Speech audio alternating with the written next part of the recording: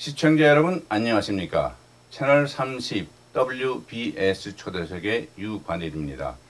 오늘은 미국 로스앤젤레스부터 뉴욕까지 위안부 알리기 미국 자전거 횡단 프로젝트를 하고 있는 두 분의 청년을 모셨습니다.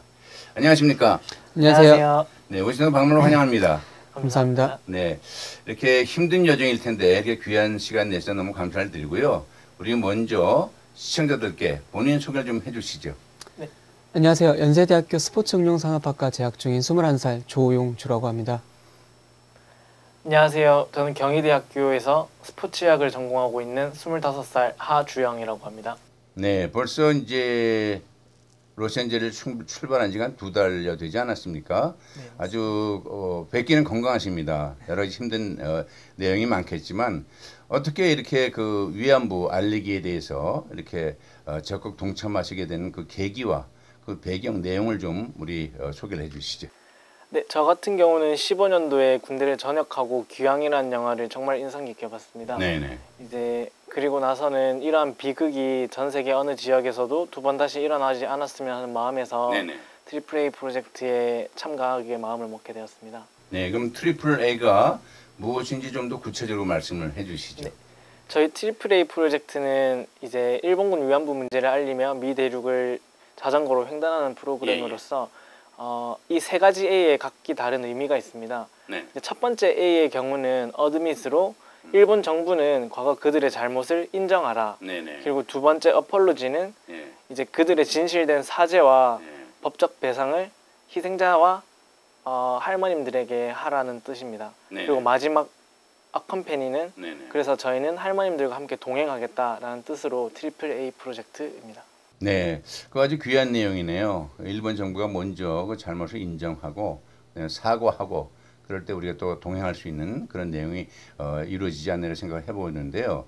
그 Triple A 이 프로젝트가 이번 처음은 아니지 않습니까? 이제 네. 일 1기, 2기하고 이번 3기 때 지금 하셨는데 어떻게 3기하고 1, 2기하고 다른 점이 있다면 무엇인지 좀 말씀을 해주시죠.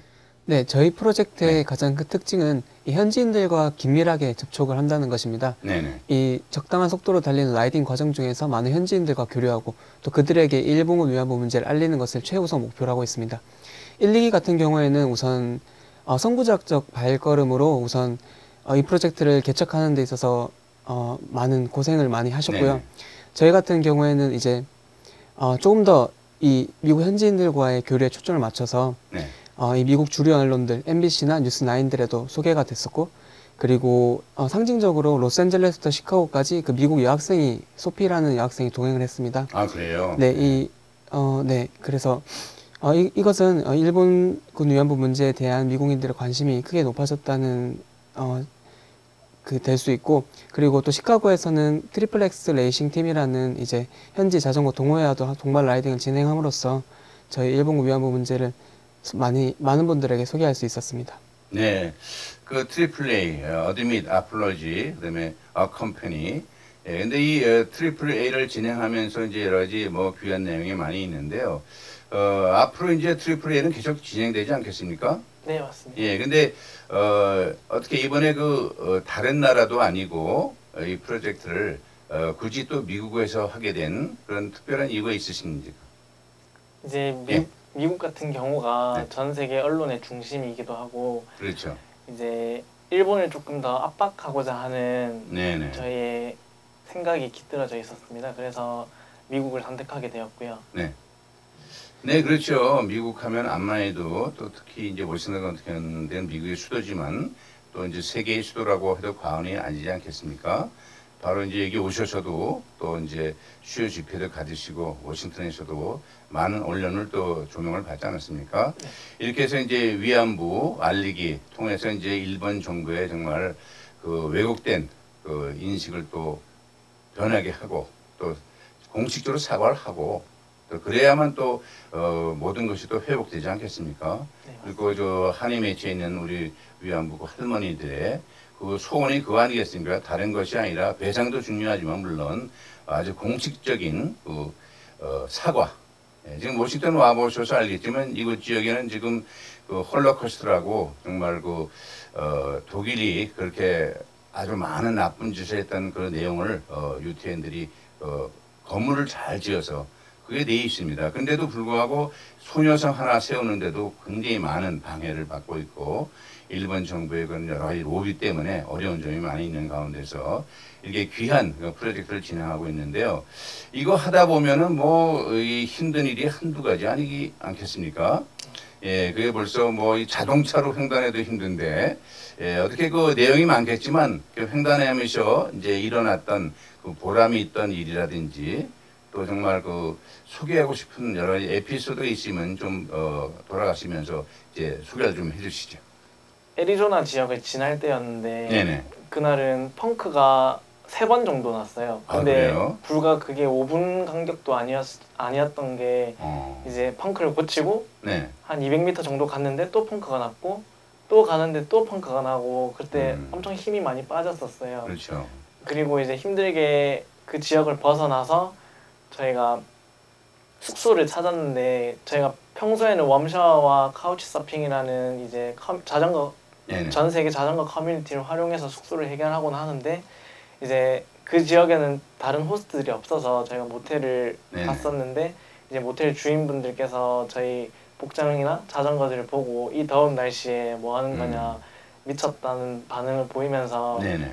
이제 저희에게 물어보셨어요. 그래서 저희가 프로젝트에 대한 소개를 하고 일본군 위안부 문제에 대해서 말씀을 드렸더니 정말 이렇게 뜻깊은 일을 해줘서 고맙다고 하면서 저희를 공짜로 숙소를 제공해 주셨어요. 네. 그리고 그뿐만 아니라 더 필요한 물건 있으면 이야기 꼭 해달라고 하면서 이제 그게 저희가 처음 음. 미국에 와서 외국인에게 받은 큰 호의였어서 네 네. 그게 아직까지 인상 깊게 생각나는 것 같습니다. 네.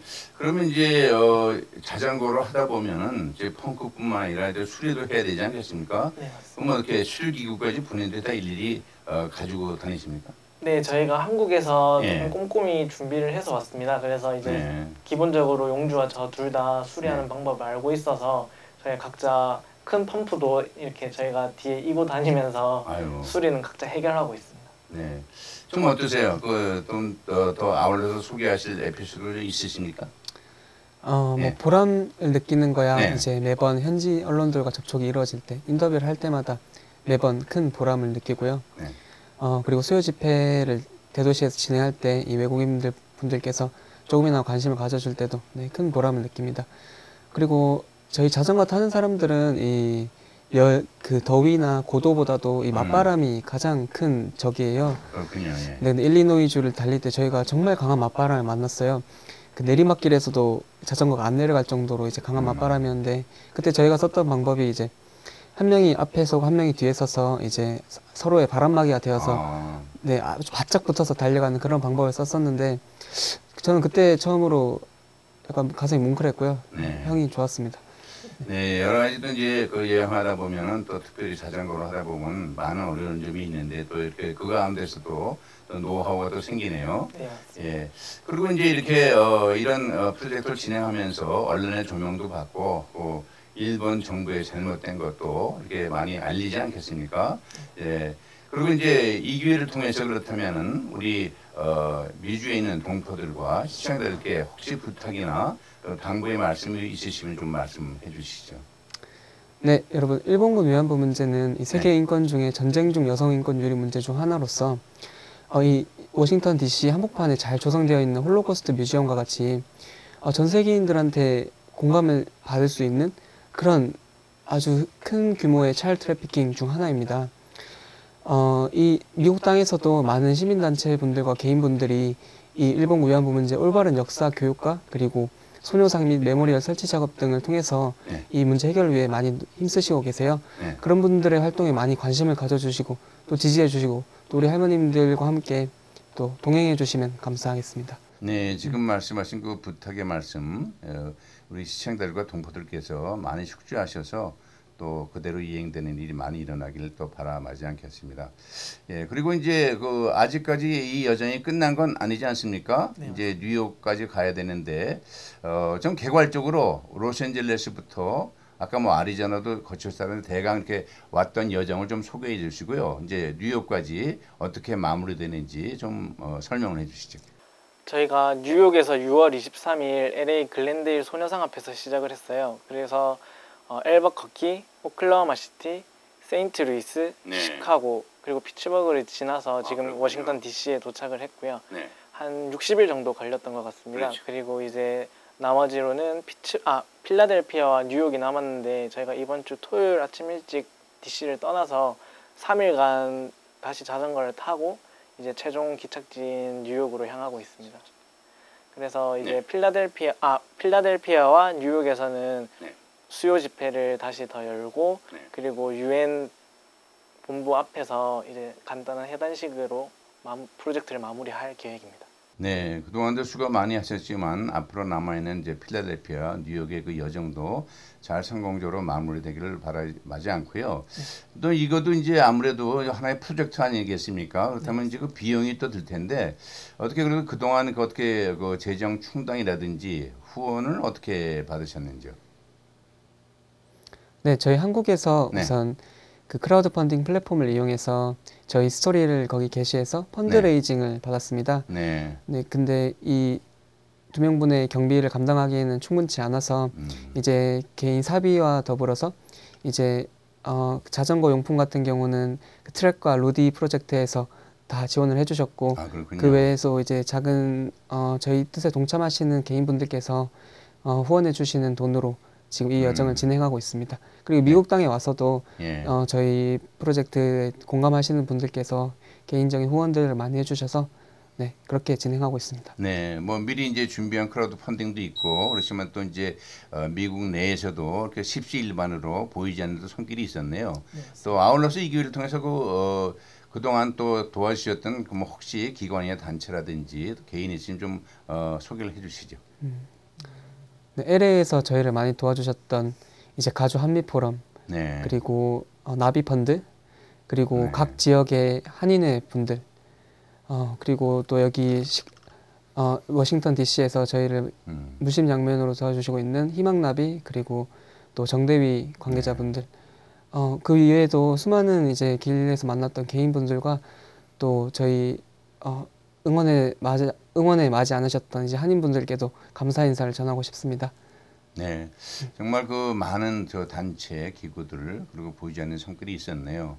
어, 앞으로 이제 어, 프로젝트가 3기뿐만 아니라 계속 이어질 때 더 많은 후원과 또 많은 관심과 참여가 있게 되기를 또 바람하지 않고요. 어, 그렇다면 이제 어, 이 프로젝트가 이제 거의 마무리 단계에 들어 있는데 어, 어떻게 이번 그 프로젝트 3를 통해서 기대하는 성과가 있다면 무엇이 되겠습니까? 어, 저희가 이번 프로젝트 3기를 통해서 기대하는 성과로는 네. 훨씬 아 조금이나마 더 많은 외국인들 현지인들이 어, 일본군 위안부 문제에 대해 관심을 가져주는 게 그렇죠. 네, 저희가 바라는 바이고 네. 그리고 지금 이때까지 해온 결과로서도 저희가 많은 외- 현지인들에게 알리는 작업을 했기 때문에 그 성과가 곧 나타날 것이라고 생각합니다. 그리고 저희는 이 프로젝트 이 프로젝트로서 이제 이 음. 활동이 끝나는 게 아니라 음. 이 일본군 위안부 문제 실질적인 문제 해결에 기여하고 싶습니다. 네네. 어, 이 미국에서 이루어졌던 2007년 하원 의원의 위안부 관련 성명이라든가 어, 그런 국제 사회에서의 여론이 일본 정부에 굉장히 큰 타격을 주었습니다. 저희는 그래서 이 미국 땅에 와서 이 미국 여론들을 어, 통해서 이 일본 위안부 문제를 소개하고 있고 또 이 미국 언론과 미국 언론을 통해서 이 세계 여론을 어, 일본군 위안부 문제에 대한 소개를 바탕으로 이 일본 정부의 공식적인 사죄와 그리고 법적 배상을 받아내는 것이 바로 저희의 목표입니다. 네. 그러니까 HR 121이 그 리소, 리솔루션이죠. 결의문이긴 하지만 그 만장일치로 통과됐었거든요. 예, 그리고 이제 그걸로 아울러서 정말 세계 이목을 집중시키는 그러한 것이 됐는데도 불구하고 아직까지 만족할 만한 일본 정부의 공식적인 사과나 이런 것이 기대되고 있는데 지금 말씀은 그런 내용들이 앞으로 더 잘 이루어지게 되기를 바람하지 않고요. 어, 어떻게 이제 어, 중복되는 면이 이제 없지 않겠지만 앞으로 이제 그렇다면 어, 계획하고 있는 계획이라든지 비전이 있다면 아울러서 마지막으로 좀 정리를 해주시죠. 앞으로의 계획을 간단하게 말씀드리면 저희는 이제 9월 첫째 주에 한국에 귀국해서 어, 수요 집회를 참석해서 저희 일정 아, 저희 여정을 이제 소개하고 보고한 후에 그리고 어, 계속해서 저희 이 여정과 관련된 비디오와 게시물 그리고 혹은 책 발간 등을 통해서 일본군 위안부 문제와 관련된 활동들을 꾸준히 이어나갈 예정입니다. 그리고 또 올해 말부터 이제 내년 초까지 또 recruiting 과정을 통해서 4기 멤버 선발 및 육성을 통해서 또 이 3 프로젝트 저희 미국대로 자전거 횡단하며 일본군 위안부 문제 알리기 프로그램을 계속해서 꾸준히 이어나갈 예정입니다. 네, 지금 말씀하신 그런 계획과 비전이 정말 앞으로 어, 4기, 5기 계속되는 그 프로젝트를 통하여서 정말 성공으로 잘 마무리되기를 또 바람하지 않겠습니다. 어, 저희들이 바라는 그대로 일본 정부가 그 잘못된 왜곡된 그 역사 인식을 다시 하고 사과를 하고 그리고 같이 이제 동행하는 이 모든 것이 어, 조속한 시일에 빨리 이루어지게 되기를 바라겠습니다. 이렇게 여러 가지 많은 것으로 우리가 알리고 있지만 이렇게 어, 자전거로 미국 횡단을 통하여서 직접 이렇게 알리는 두 분께 너무 감사를 드립니다. 그리고 오늘 이렇게 바쁜 일정 가운데 힘정 어, 정말 여러 어려운 여정이 아니시겠습니까? 예, 저희 방송 나오셔서 이렇게 귀하고 좋은 말씀하셔서 대단히 고맙습니다. 감사합니다. 감사합니다. 오늘은 미국 로스앤젤레스부터 뉴욕까지 위안부 알리기 미 대륙 자전거 횡단 프로젝트를 어, 진행하고 있는 두 분의 청년을 모시고 대담으로 진행했습니다. 여러분 감사합니다. 안녕히 계십시오.